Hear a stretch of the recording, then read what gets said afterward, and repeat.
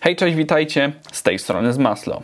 W ostatnim czasie mamy chyba w ogóle swego rodzaju święto graczy. PC-ciarze dostali nowe procesory czy karty graficzne, no a druga część graczy ma na premierę swoje nowe konsole. E, ja niesamowicie cieszę się, że jako jedna z pierwszych osób w Polsce miałem okazję przetestować Xboxa Series X. E, ku uprzejmości Microsoftu dostałem tą konsolę przed premierą i bawię się już nią ponad tydzień. No i dzisiaj podzielę się z Wami co dobrego, co nowego i czy jest coś złego w nowych X-klockach. Zapraszam. Nie tak dawno temu robiłem unboxing właśnie tej konsoli Xboxa Series X, który mogliście widzieć na kanale Morele TV. A ci z Was, którzy nie widzieli, pozwólcie, że streszczę Wam, co znajdziemy w pudełku. No jak należałoby się spodziewać, dostaniemy tam schludnie zapakowaną konsolę, przewód zasilający wraz z kablem HDMI 2.1, a także nowy, nieco ulepszony kontroler.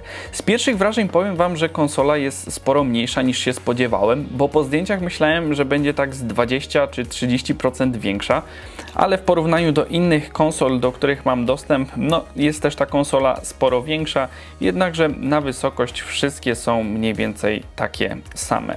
Mimo wszystko uważam, że design tego Xboxa jest naprawdę dość udany, estetyczny, minimalistyczny i myślę, że po umieszczeniu konsoli w salonie, no nie będzie ona jakoś specjalnie krzyczeć i się elegancko tam wkomponuje.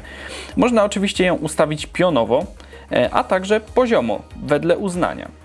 Z przodu konsoli mamy napęd szczelinowy Blu-ray, USB typu A, przycisk do parowania kontrolera i włącznik.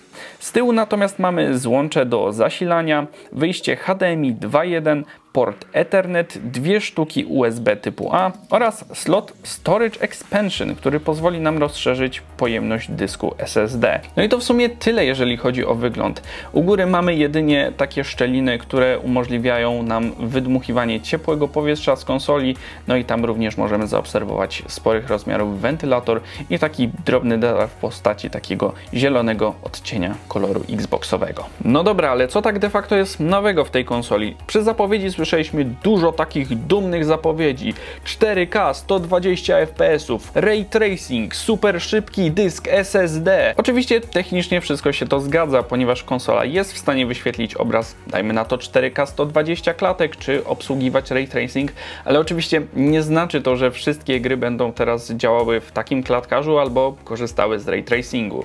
Oczywiście to w jakiej ilości klatek czy jakie feature'y obsługuje gra no zależy głównie od deweloperów, czy oni zdecydują się wykorzystać potencjał Xboxa. Myślę, że największą zmianą tej nowej generacji konsol jest dysk SSD. I powiem Wam, robi to niesamowicie ogromną, przepotężną różnice. Mamy tutaj dysk SSD NVMe o pojemności 1 TB i gry wczytują się po prostu nieporównywalnie szybciej niż z dysku HDD. Ale z tym jest także kolejna bardzo fajna funkcja, która nazywa się Quick Resume. Pozwala ona nam przeskakiwać pomiędzy grami, które są jakby w tak zwanym, można powiedzieć, stanie uśpienia. Myślę najprościej będzie to wytłumaczyć na przykładzie. Zobaczcie, gram sobie teraz Wiedźmina, a nagle postanawiam wrócić do Hellsblade'a. No i zaledwie w przeciągu kilkunastu sekund jestem w stanie wskoczyć do Hellblade'a dokładnie tam, gdzie byłem, bez przechodzenia przez wszystkie menusy czy wczytywania save'a, tak jakbym tej gry nigdy nie wyłączył. I powiem wam, co zabawne, to idzie nawet jeszcze dalej, bo gdy konsolę wyłączymy i nawet odetniemy jej prąd, dosłownie w przeciągu 15 sekund jesteśmy w stanie uruchomić konsolę i wskoczyć do naszej gry dokładnie tam, gdzie byliśmy. Oczywiście to nie jest tak, że teraz każda gra będzie tak jakby w tle, bo możemy mieć kilka tytułów uruchomionych jakby za pomocą Quick Resume. E, oczywiście tutaj to zależy od rozmiaru gry, e, więc nie da się tak określić, ile tak naprawdę gier możemy mieć e, zapisanych w postaci Quick Resume. To działa tak szybko, a te gry nawet nie zostały specjalnie jeszcze zoptymalizowane pod dyski SSD. Dzięki takiej standaryzacji, że teraz każda konsola nowej generacji będzie miała dysk SSD, no deweloperzy będą mogli sprawić, że że gry będą ładowały się jeszcze szybciej. No, a może się okazać, że na przykład niektóre będą ważyć mniej, bo nie będzie trzeba przechowywać teraz na dysku kilkadziesiąt instacji tego samego obiektu. Chociaż w sumie znając ambicje twórców gier, to światy będą większe, więc e, no, gry pewnie też będą ważyć dużo. Przejdźmy teraz do uruchamiania. E, przy pierwszym uruchomieniu konsola wymaga połączenia z internetem po to, żeby właśnie zastać najnowszą wersję systemu, która jest dostępna. Myślę, że w dobie day one patchów nikogo nie powinna dziwić taka praktyka, że właśnie musimy tą pierwszą konfigurację przeprowadzić online, ale w momencie, gdy zainstalujemy sobie gry i wszystkie aktualizacje, no to na konsoli również można grać bez internetu i to działa. Porozmawiajmy troszeczkę na temat interfejsu. Moim zdaniem jest on mega prosty i przejrzysty, bez zbędnych pierdół kolokwialnie mówiąc. Wygląda on troszeczkę niczym kafelki z Xboxa 360, ale jest przede wszystkim wygodny do nawigowania i responsywny. Po wciśnięciu przycisku Guide na kontrolerze pokazuje się nam nowe menu, w którym mamy dostęp do ostatnich gier, listy znajomych, czatu, osiągnięć czy zapisanych screenshotów i krótkich klipów z gier, które nagraliśmy. Panel ustawień w sumie też jest bardzo czytelny. Znajdziemy tutaj możliwość konfiguracji sieci czy wybrania trybów HDR.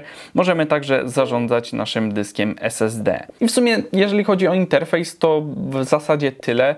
Mamy też oczywiście sklep z grami, ale no do tego przejdziemy sobie za moment. Skoro o graniu mówimy, jak się na tym gra. Jak dla mnie jest to dość interesujące, że konsola de facto nie ma żadnych tak zwanych system sellerów póki co, e, no i nie ma też jeszcze żadnych gier, które byłyby projektowane tylko i wyłącznie na Xboxa Series X czy S. Microsoft bardzo mocno wydaje się bazować na wstecznej kompatybilności. Odpalimy tutaj praktycznie każdą grę z Xboxa One.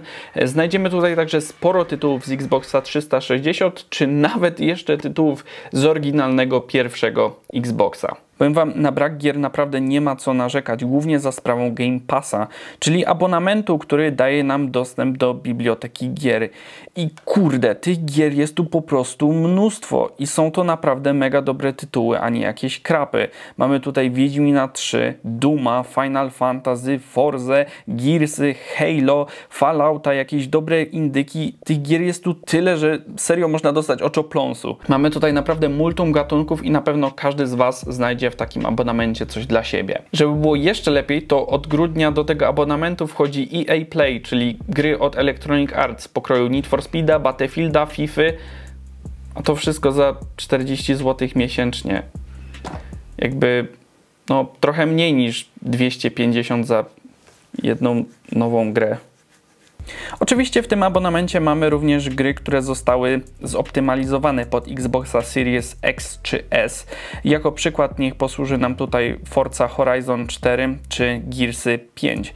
Mamy tutaj wyższą rozdzielczość i dodatkowe efekty graficzne, e, których no wcześniej nie mogliśmy zobaczyć, więc te gry faktycznie wyglądają lepiej niż kiedykolwiek na konsolach poprzedniej generacji. Więc może się okazać tak, że warto będzie wrócić do jakichś tytułów, które ogrywaliśmy wcześniej. Gry takie jak Doom Eternal, mimo braku jakiejś specjalnej aktualizacji, też działają lepiej dzięki temu, że akurat ta gra korzysta z dynamicznej rozdzielczości, to właśnie może wyglądać lepiej przez to, że Series X ma duży zapas mocy. No a gry pokroju Hellblade'a pozwalają nam wybrać tryby Xboxa One X czyli mamy tutaj możliwość wybrania większej płynności, rozdzielczości czy większą szczegółowość otoczenia. Co ciekawe, można też uruchamiać gry z Xboxa 360, jeżeli macie płytę z grą. Jeżeli gra jest kompatybilna, pobierze się z internetu i tak długo jak macie płytę w napędzie, możecie w nią grać. No i ja sporo z bratem nagrałem się teraz w LEGO Star Warsy. Tyle wspomnień, same dobre. Chociaż troszeczkę szkoda, że nie wszystkie gry z Xboxa 360 możemy uruchomić w ten sposób, więc na przykład takiego Most Wanteda nie odpalę, ani Carbona.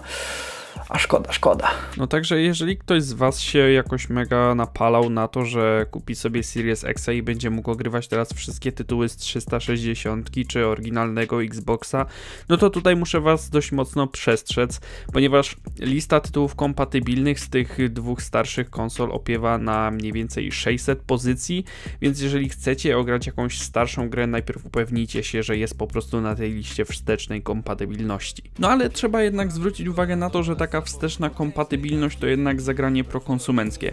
No i dużo lepiej wygląda niż płatne remastery w sklepie konkurencji. No i warto też powiedzieć o tym, że nowy Xbox potrafi dodać do tych starszych tytułów HDR, więc jeśli mamy telewizor, który obsługuje tą funkcję, no to wasze ulubione klasyki mogą wyglądać lepiej niż kiedykolwiek. Jeżeli chodzi o płynność zabawy, to powiem Wam, nie mam żadnych zastrzeżeń. Gry ładują się błyskawicznie. Ani razu nie zdarzyła mi się jakaś sytuacja spadku klatek, ani jakichś dziwnych stuterów.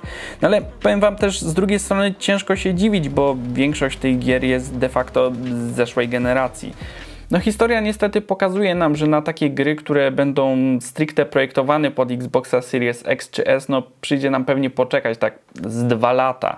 I jasne, na przykład Cyberpunk 2077 będzie miał dodatkowe opcje graficzne na Series X y, czy S, no ale jest to również gra, która będzie działała na Xbox One. Microsoft też porzucił jakiś czas temu politykę ekskluzywów.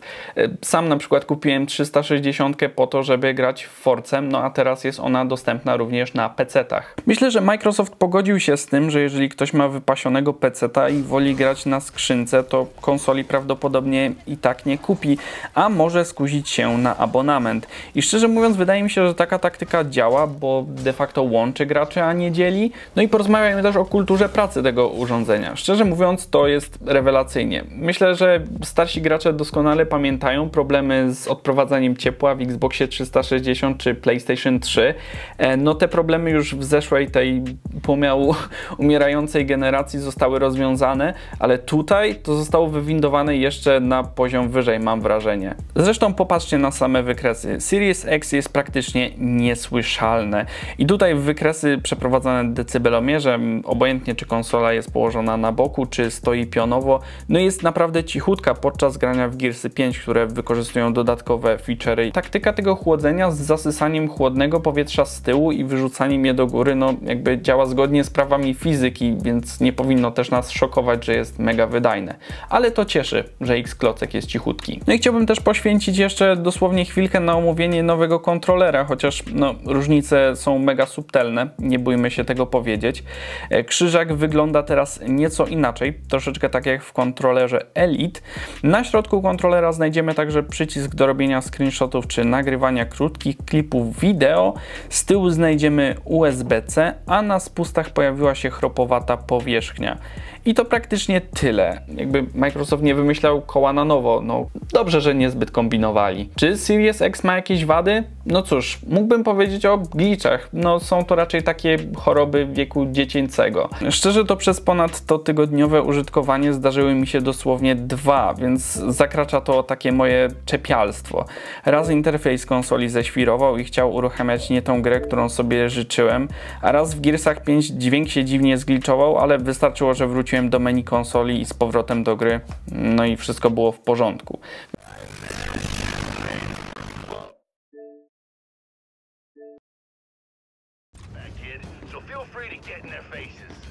Więc no tak jak mówię, to jest raczej takie moje czepianie się. Zastanawiam się też w sumie, czy, czy wrzucać cenę jako wadę, bo Xbox Series X jest wyceniony w okolicach 2300 zł.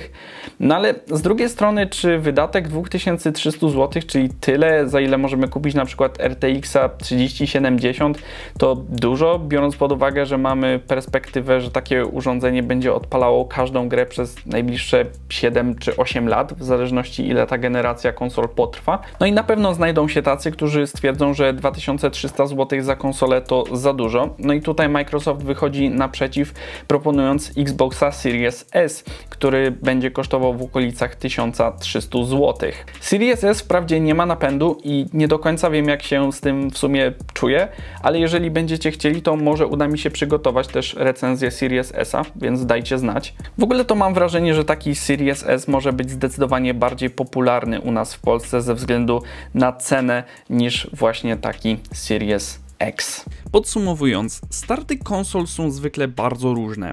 Prawda jest taka, że w ostatnim czasie Microsoft bardzo mocno zainwestował w swoje studia. Ostatnio na przykład nabyli Bethesdę. No, co daje nam jednak podstawy, żeby sądzić, że tych gier, które będą świetnie zoptymalizowane pod Series X pojawi się naprawdę w przyszłości bardzo dużo. Dodajmy jeszcze do tego to, że tak naprawdę wszystkie gry z Xbox Studios są zawsze dostępne na premierę w abonamencie Game Pass, więc tak na dobrą sprawę taki Series X z Game Passem to naprawdę może być super kusząca opcja. W ogóle może będę się trochę powtarzał jak jakaś zdarta płyta, ale Game Pass jakby ogólnie wydaje mi się, że to jest mega duża siła mam wrażenie, że jakoś się w ogóle o tym za dużo nie mówi. A Game Pass, jak dla mnie, na przykład było to takie zaskoczenie, że ja spróbowałem gier, których normalnie nigdy bym nie kupił. I na przykład z dziewczyną grałem w Golfa albo w Human Fall Flat, które no, raczej nigdy bym nie kupił, a bawiliśmy się naprawdę świetnie. Jakby to jest spoko, bo można sobie pobrać gierki na zasadzie, a sprawdzę co to, zobaczę czy mi się spodoba. Dobra robota. A co gdybym powiedział Wam, że możecie wygrać takiego Xboxa Series X? Otóż tak się składa, że dzisiaj od 10 do 19 listopada na kanale YouTube'owym Xbox Polska startuje wydarzenie, które nazywa się Xfest. Jest ono właśnie związane z tą premierą nowych Xboxów. No i właśnie jako nagroda główna będzie można wygrać takiego Xboxa. Oczywiście będzie tam naprawdę się sporo działo, będą różne wywiady z deweloperami gier, będzie też troszeczkę o historii konsol, także naprawdę zapowiada się ciekawe wydarzenie, które będzie streamowane codziennie o 18. Tak więc w opisie tego materiału i w przypiętym komentarzu zostawiam Wam link do tego wydarzenia. No i co? Powodzenia w wygraniu Xboxa. Słuchajcie, no tradycyjnie w opisie tego materiału znajdziecie linka do X-Klocków, a jeżeli interesowałaby Was recenzja Series S, to dajcie mi znać w komentarzach. Tyle z mojej strony, do zobaczenia w kolejnych materiałach. Na razie, bajos.